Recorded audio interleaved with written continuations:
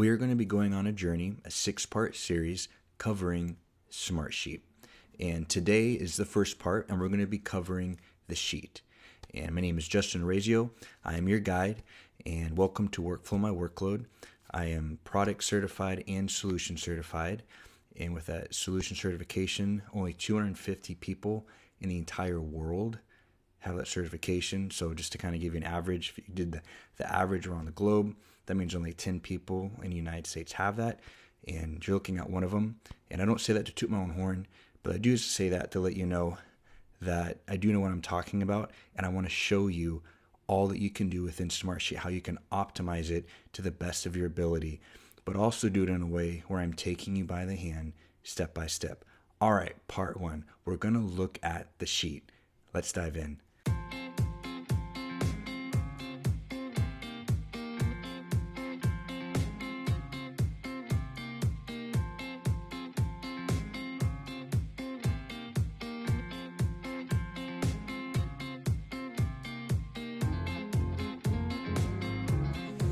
All right, today we're going to be learning how to navigate within the sheet of Smartsheet, how to work with your rows and your columns, and then all the things you can do on the ribbons along this side, all the action items you can do within that sheet. And if you like this, this little part series and you keep watching the next video and the next video, I've actually created a 45 minute lesson covering a little bit in more detail the overarching theme of Smartsheet. And that lesson is absolutely free and it's found in the bio below. So please don't forget to click on that free lesson. All right, let's dive into the sheet. All right, the first thing you're going to do is log into Smartsheet.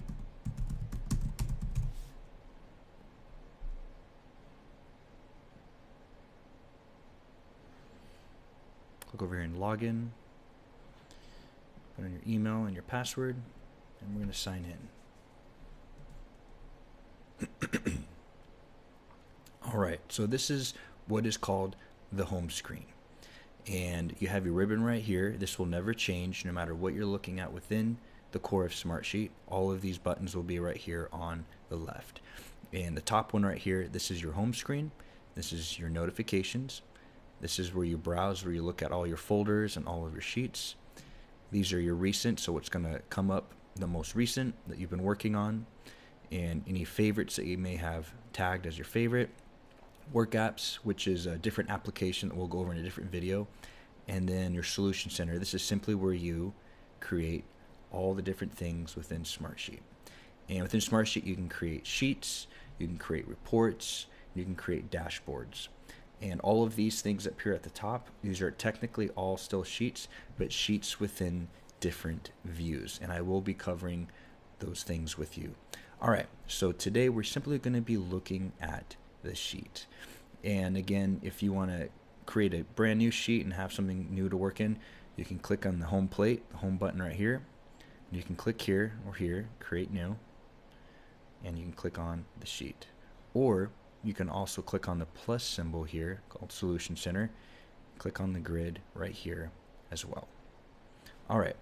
Once you open it up, the first thing it's going to ask you is a sheet name. What do you want to name your sheet? And for this one, let's go ahead and let's pretend like we have a, a project and we're working on making some spaghetti. So we'll, we will call this spaghetti project. Click OK. And then it brings you to the sheet. And it always starts out this way with a blank canvas. You have your primary column, and then it gives you six more columns. Now within Smartsheet, you can have up to 400 columns and up to 20,000 rows. So these right here are called columns, and these right here are called rows. And if any of you have ever worked in any other project management um, platform or like Excel, you'll be very familiar with rows and columns. But there are some things about Smartsheet that to me are a league above the rest that the columns and rows have action items that I'll cover today that a lot of other platforms do not have. Okay, so we have our grid, and it's you can look at it in multiple different views. And just like most other platforms, you have your your font settings right here, colors, your paints, and so on and so forth. And so, for instance, let's put in some data so we can start manipulating it so you can see what it does. All right, when you have a column, it's by default, they're going to start out as text and numbers. And what I mean by that is if you double click in one, the column type is a text and number. But this column can be multiple different types. It can be drop down list, date, contact list, checkbox, symbols, auto numbers is where it just automatically populates a number when a row is created or added. And created by, created date, latest comment, modified by, and modify date. And I'm not going to go through each one of these today, but I do go through these in more detail in my upcoming lesson that you see in the bio below. All right, let's go ahead and just do the basic text number here. And let's go ahead and double click, change the column name. We'll call this signed to. And actually, I'm going to change this to a contact list. So let's do contact list. And we'll start typing in a name. Let's do Billy Bob. Susan. Okay. So we change this to assign to. Primary column. Let's just change this to task. Now with the primary column, and you will always have a primary column within your sheet. Now you can hide it if you don't, for whatever reason, don't want to have it. You can hide it um, but it will always exist in the sheet. And the one thing to keep in mind is a primary column, um, it will always be a text number. All right, let's change this column to a date column. So we'll call it start date. And we'll choose date. Here you can put in a date here. And we'll maybe we'll call this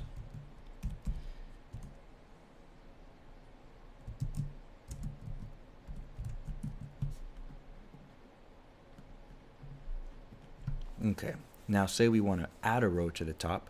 You're going to go over here to the left, where it's dark blue here. You're going to right click, and you're going to do insert above.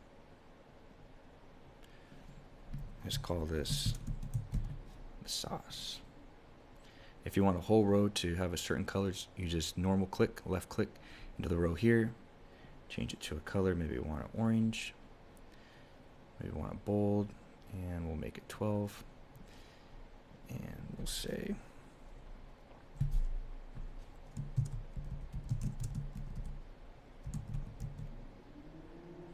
And what's cool too is with uh, any data here, if you to the bottom right, if you click and drag, you can drag it down as far as you want.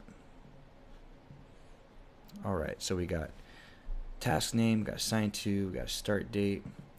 Let's go ahead and put an end date.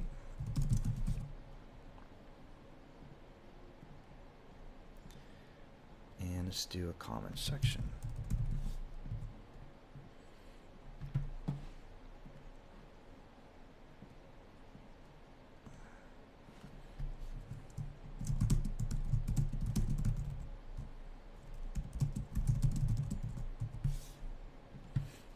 Text got cut off there. So if you don't want that, you just click into the whole column, or you can click in the row. But if you click on the whole column, it does it for everything down below.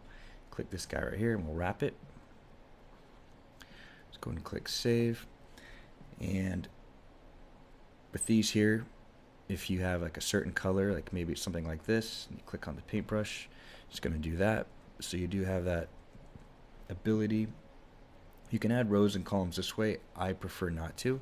I just did what I did earlier where you right click into a row, insert above, insert below, and then you can also add more columns. You just right click into one of the columns and call this A, B, C.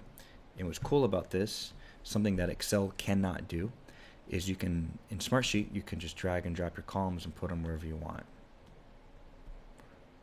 And do that with any column. You take it, you can hide it, whatever you want to do. All right. So the action items. So what makes Smart Smartsheet stand out from the rest, at least in my opinion? We have these some of the, one of many things is you have the action items right here on the left. What that means is the first one is a paperclip. It's an attachment. So you click here and this panel opens up over here and you can just drag and drop documents right into here. You can click down here as well, upload it from the computer. Maybe I want to do Let's see. Some photos.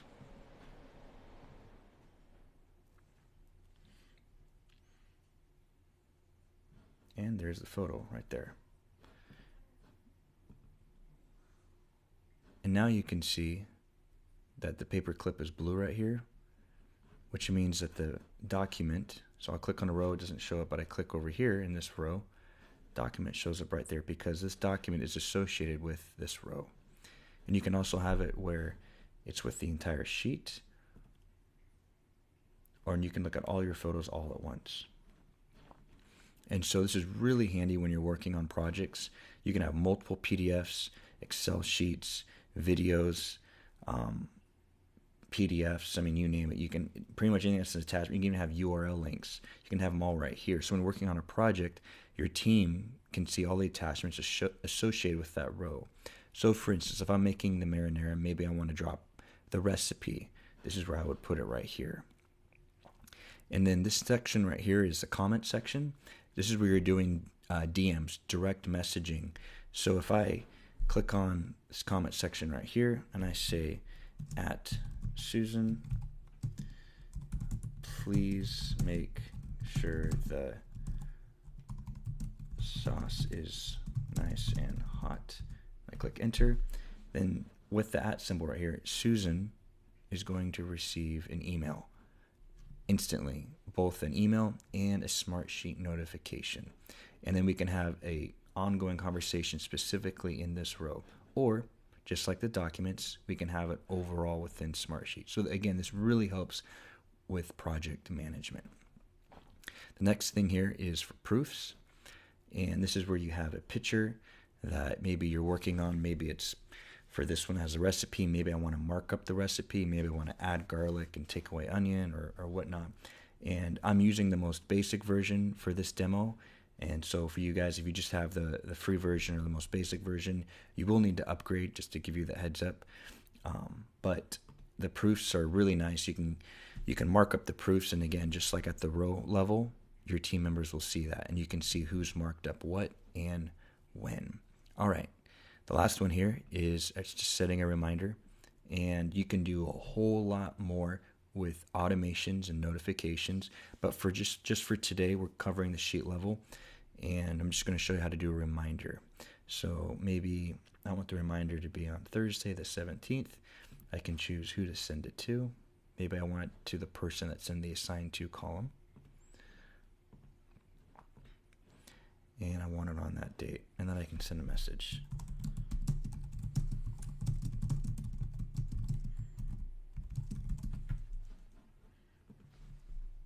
And there we go. All right, those are the row actions for you, and these are the columns. Um, another thing you can do here is you can indent. So if I want to take these in, click indent, then it takes these two rows and it hides them under sauce. So maybe I have another one for uh, making the spaghetti noodles, making the salad, and then you can indent as many as you'd like. All right.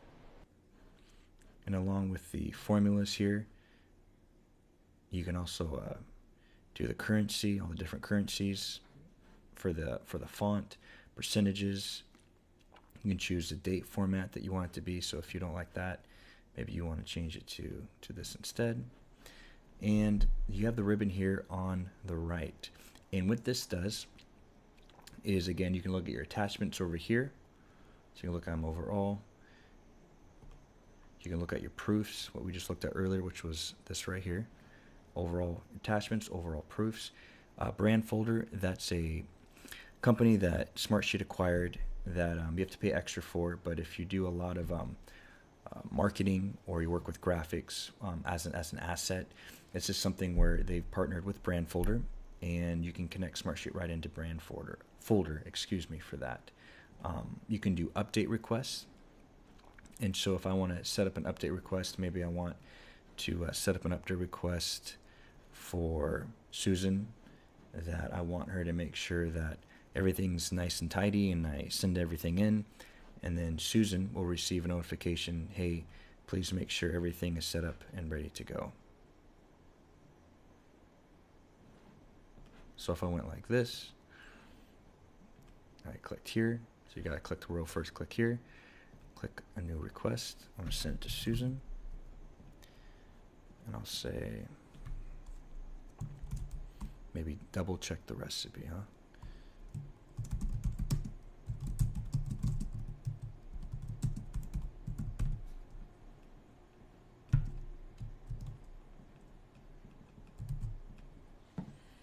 I can even CC myself. I can choose what she sees and doesn't see, and I can even schedule it out.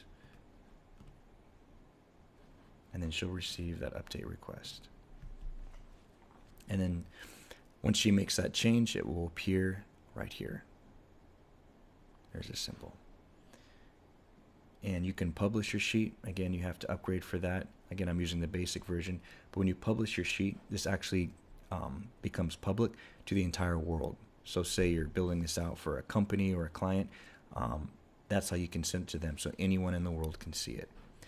And you can set up parameters where they can't make changes and edits, they can only look at it.